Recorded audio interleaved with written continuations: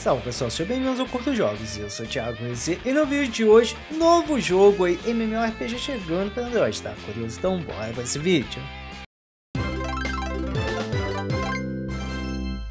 E aí, tudo bem com vocês? Como tá tudo ótimo? Vídeo de primeiras impressões, esse jogo aqui apareceu para pré-registro, eu tava lá, me parece um MMORPG, também a gente vai descobrir isso com certeza aqui. Na primeira impressão mesmo, o jogo tá em português. Vendo as fotinhas e tudo mais, eu espero que não seja aí um daqueles MMOs totalmente genéricos, caça-níquel, full alto que você só assiste. Criação de personagem, pelo visto não é Gunnerlock, né?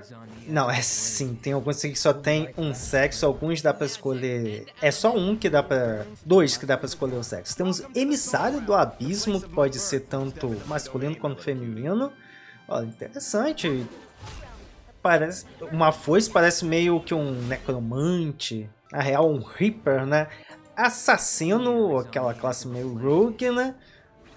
É, as animações inicial das classes estão bem interessantes. Lutador, né? O guerreirão, velho de guerra que tem que ter em qualquer MMORPG. Isso aqui tem que estar tá bem bonitão. Sábio deve ser um mage, né? No caso, uma maguinha, né? Atacante em área.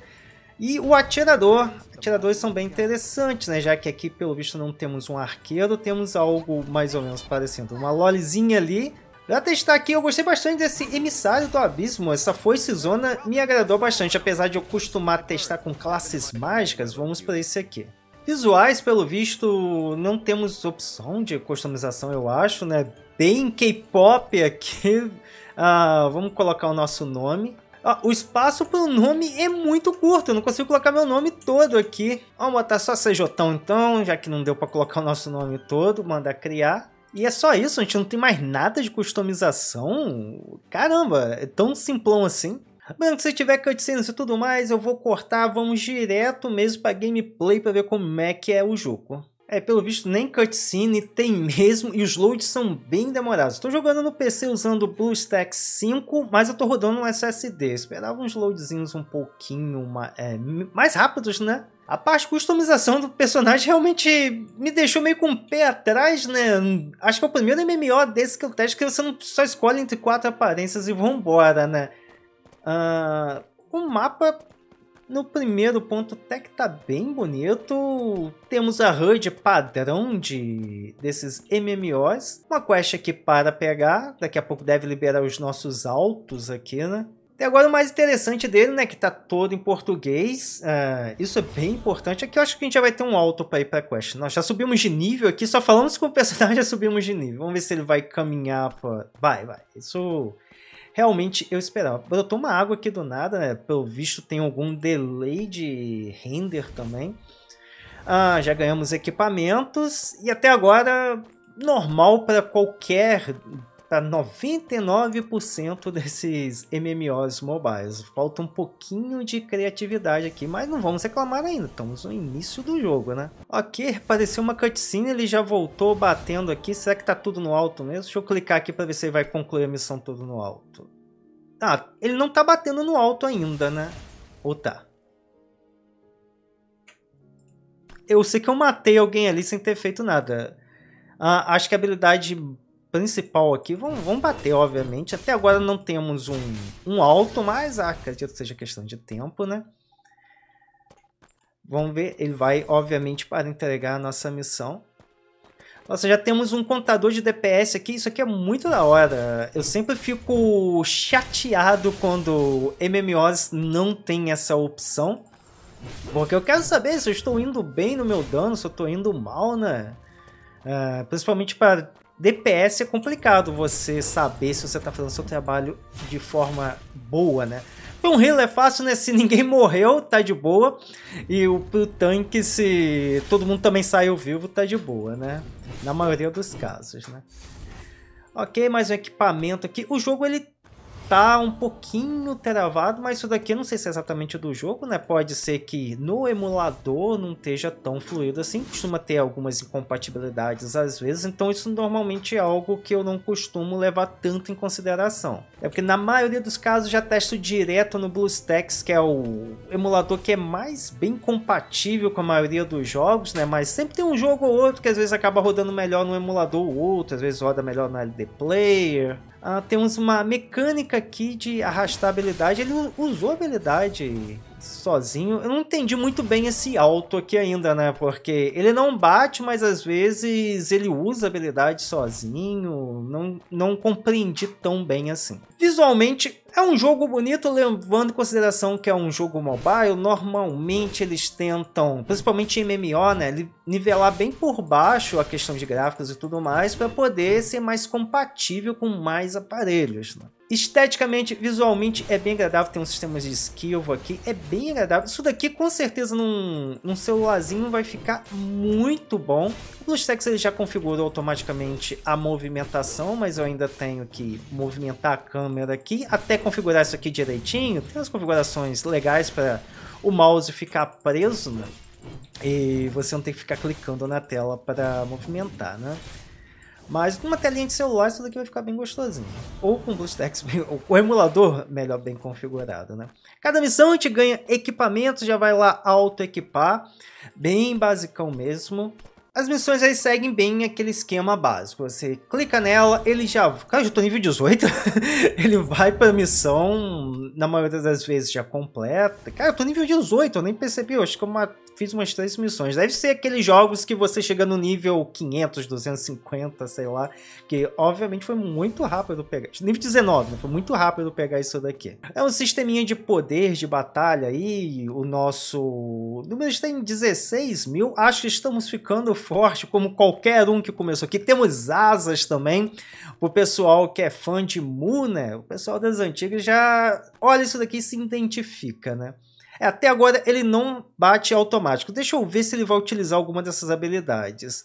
Tá paradão. É estranho, às vezes ele usa, às vezes não usa, mas vamos considerar que tá tudo no manual aqui ainda e vamos realmente gastar. Visualmente, esteticamente, as habilidades são bem legais. É realmente bem o estilo Reaper.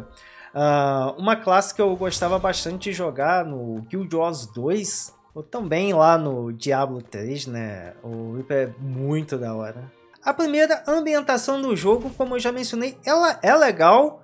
Saiu um pouquinho daquela cara de MMO genérico que eu costumo muitas vezes testar, vezes nem trago vídeo. Esse aqui já trouxe algo que pelo menos até agora não vi. Nossa, inclusive esse local aqui achei mó da hora, né?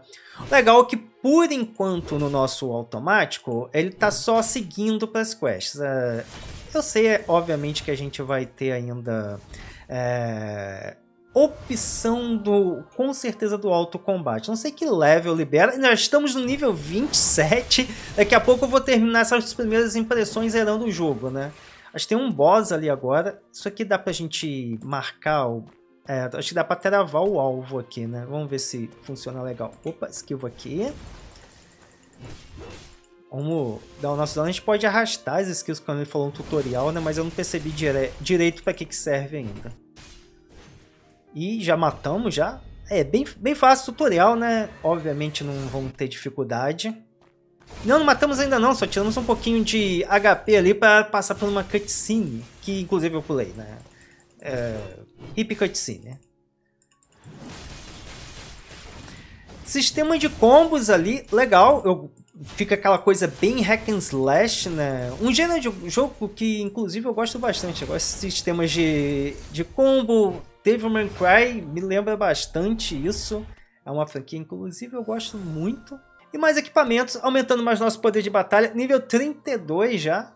E agora ele toca aqui para invocar. Então temos sistema de gacha aqui nesse MMO, que é bem comum para jogos mobile. Não só mobile, né? outros jogos também estão tendo esse sistema. O que, que a gente invoca aqui? É personagem? Deve ser arma, né? É... Oi? Será que é tipo um companion? Vamos, vamos ver o que isso aqui serve. É o nosso mascote, ajudante? Deve ser isso, né? É, é o nosso ajudante ali. A gente. Eu vou com aliado, né? Ok, será? Quantos que a gente pode levar na nossa paz? Será que a gente consegue fazer uma paz só aí com ajudantes? Chegamos aqui na cidade, cidade normal, assim, de MMOs, né, castelos tudo mais. Já ganhamos montaria também, o jogo generoso já vai montando, já vai embora, né? E realmente, o jogo ele tá bem lagado, ele não tá fluido no BlueStacks. Lembrando, né, não significa que no seu celular vai estar tá zoado, né? Pelo menos já vi que esse não é um jogo que vai rodar legal. Provavelmente ele deve rodar um pouco melhor lá no Elder Player. Normalmente quando o jogo fica ruim no BlueStacks, Elder Player fica bem fluido. Ganhamos bastante coisa aqui, bastante presente. Inclusive, temos um livro divino aqui que eu acho que deve ser recompensas de progresso. É, sim, temos recompensas aqui. Normal para esse tipo de jogo, né? Você inicia, o jogo te agrada te dando muitos mimos, né? Ah, temos o nosso primeiro desafio aqui, Reino Paranormal. Vamos ver, deve ser uma batalha contra chefe. A gente tem um sistema aqui de estrelas e autoluta. Será que Será que agora a gente já tem o alto aqui? Será que é só apertar... O... É, é já, agora sim abriu o alto pelo visto, né? Uh, mais um daqueles MMOs aparentemente que vai estar tá mais a questão de gerenciamento, de você melhorar seu personagem, deixar o alto e nós, nós vamos do 38 para o 46. Abre aqui para a sua interface do paranormal. Já que tem montaria, já tem um mascote ali, um ajudante, né? O que, que é o paranormal? O caixa de material Deve ser pra gente exatamente upar o nosso... Aqui chamam de paranormal, eu acho, né? O nosso ajudante. Então sim, é realmente aí um MMO com gacha envolvido. A gente pode upar o nosso ajudante aqui. É que fala acho que a gente ganha de presente isso daqui se fizer uma compra, né? Obviamente vai querer te forçar a comprar alguma coisa. É, agora sim o jogo entrou naquela mesma premissa de 90% aí desses MMOs mobiles, até de talvez empresas menores e tudo mais, que é o que? Você assiste. É, no início ali a gente ainda estava utilizando as habilidades e tudo mais, mas depois dessa masmorra que a gente fez, o jogo está jogando tudo automaticamente para mim. Talvez nem todo jogo nesse estilo é 100% ruim. Tem alguns jogos que no late game dele tem bastante desafio para você fazer manualmente, mas outros está ali somente para te vender pacotinhos, te vender diamantes, customização e tudo mais, para gastar o seu cashzinho abriu mais um desafio aqui pra gente. Acredito que vai ser igual ao anterior, né? Simplesmente vou assistir e vai me dar uma recompensa aí. É exatamente isso, tudo no automático. Concluído, ganhamos mais recompensas e pegamos nível 60. Foi bem rápido isso, inclusive. Novamente ele deve falar para melhorar o nosso paranormal, né? Vamos selecionar ele aqui. Um paranormal SR, eu acho que o jogo me deu ele, né? Visão geral dele aumentar os níveis, pelo menos generoso também, deu um mascotezinho. Será que a gente pode utilizar dois ou é umzinho só por vez? Agora ele me deixa liberar mais um paranormal, então posso levar dois aqui. E pelo visto a gente pode levar até três bonequinhos para ir ajudando a gente. Uma coisa que eu reparei aqui também é o ping do jogo. Não sei se eu escolhi um servidor muito ruim, eu peguei no primeiro que ele me recomendou, mas é bem alto. Tá dando 500 ms, 200 e pouco. Talvez por isso que esteja essa lentidão que tá aqui.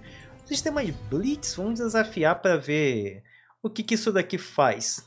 Ah, agora a gente tem nossos dois pets. Não temos o alto aqui, acho que é eu acho que eu falei cedo demais, temos sim. Eu pensei, ah, acho que agora é um desafio manual pra gente fazer. Não, novamente temos tudo automático. E é uma masmorra até que bem interessante, me lembra algumas coisas do World of Warcraft, inclusive, né? Assim, bem, bem levemente, né? Dadas devidas proporções. Pelo visto é uma masmorra pra gente farmar gold, né? O ouro, a moeda, sei lá o que, que é aqui, né? A gente tá pegando muito dinheiro aqui. Temos algumas pedras, eu acho, como recompensa. Deixa eu ver se dá pra ver o que, que ela é. É pedras de avanço de equipamento, né? Então pra gente dar melhoria aos equipamentos aí. Também de aprimorar equipamento. Acho que tem alguns elementos equipamentos, né? Essência de asa, usada para aumentar níveis de asa. Ó, oh, nossa asa aqui do Mu, eu visto, ela upa também, né? Agora vai para o boss. Ele no alto ele não desvia, né? Então, aquele sisteminha de alto que se você pegar um desafio mais difícil, né, você tem que fazer algumas coisas manual. Minimamente, né, usar a esquiva aqui, né, se tiver muito difícil de fazer, como eu acabei de fazer agora, né? Concluído, três estrelas. Farmando os equipamentos aqui, pelo visto, interessantes, né? Vamos ver quanto que vai aumentar o nosso poder de batalha aqui. Vamos lá, equipar. Esse aqui aumentou. Boa! Nossa, aumentou pra caramba, né? E esse aqui aumentou algo? Não. Aumentou. Nossa, nosso poder de batalha já tá 71 mil, já nível 85 nesse tempinho de jogo.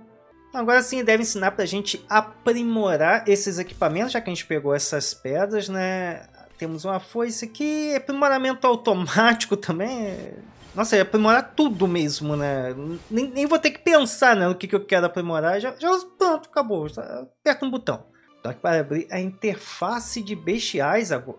Ah, as asas, né? Aumentar na sazinha aqui, aumenta pontos de vida, defesa, esquiva, resistência a crítico. Pelo visto a gente vai ter vários tipos de asa. Talvez tenha algum gato para a gente pegar outras asas. Elas têm habilidades também, né?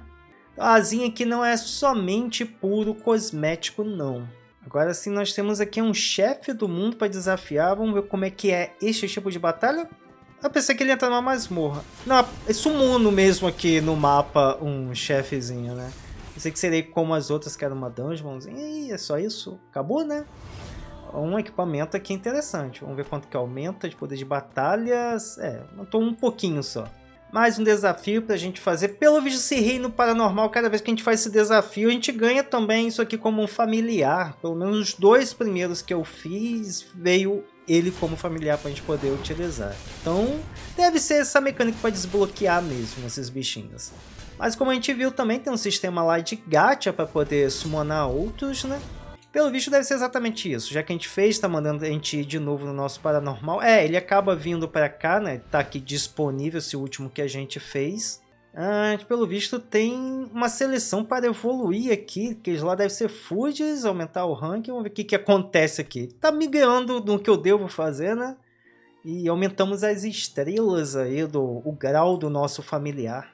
Aí, novamente, aumentar os nossos níveis. Pelo visto, a gente tem passivos, algumas habilidades para colocar aqui. E aqueles outros familiares, pelo visto, foi food mesmo para upar essa daqui. Ok, já chegamos no nível aí 103, com menos de meia horinha de jogo. E bom, já dá para ter uma primeira impressão do que se trata, como é que é e tudo mais. Numa primeira impressão, obviamente a gente não está avaliando, não fazendo um review, não avaliando o jogo todo, até porque estamos só vendo o início dele. Bom, é igual qualquer outro MMO genérico, do tipo que eu não curto muito, que é esse que eu só fico clicando em menu. Eu realmente até agora não fiz nada no jogo, tirando os primeiros monstros ali que a gente matou. O tempo todo tentando te vender as coisas, né? Não sei como é que vai funcionar o late game dele, mas o início não me agradou tanto. Não pro meu estilo de jogo. Eu gosto sim de alguns MMOs mobiles no automático, mas não tão tão automático assim. Não sou muito fã de jogos de gerenciamento somente de menus. Não no sentido de MMORPG, né? Ele realmente é bem bonitinho, agradável, não é o MMO mais lindo que eu já vi mobile, tá bem longe disso por sinal, né? Mas não é feio lagado, mas aí pode ser a questão do emulador mesmo, que não está otimizado para BlueStacks, mas o ruim é esse ping aqui de ficar variando de 200 até 500 ms. Então imagino que se eu for tentar fazer um PVP aqui ou talvez um conteúdo em grupo, uh, eu vou acabar sofrendo. Mas é claro né, que isso daqui é uma opinião exatamente para o meu gosto. Conheço muitas pessoas que adoram esses tipos de jogos que você somente gerencia. Lembrando que não vemos o late game você tem muito conteúdo manual lá. E você é o tipo de pessoa que gosta de joguinhos só ficar gerenciando equipamentos e tudo mais, e deixar o seu personagem batalhar, seguir pelas missões, avançar todos os mapas, talvez você se agrade desse jogo, até porque ele também está em português. Mas eu quero saber aí, você que assistiu até aqui, viu como é que tá o jogo, como é o jogo, te agradou, não te agradou, vai instalar, lembrando, é gratuito, né? Então, minimamente aí, faça o download e tire suas próprias conclusões. Mas então é isso, meus amigos. Esse aqui é o videozinho de hoje, trazendo para vocês as primeiras impressões aí desse novo joguinho, esse MMORPG. Eu fico na guarda aí para você que testou, chegou no late game talvez, me conta aí como que tá o jogo lá. Mas é claro né, que se você gostou desse vídeo, isso daqui foi útil para você, deixe comentário, like, favorito e compartilha com seus amigos, que tudo isso ajuda bastante o canal daquela subidinha. Muito obrigado a todos, eu vejo vocês na próxima e fui!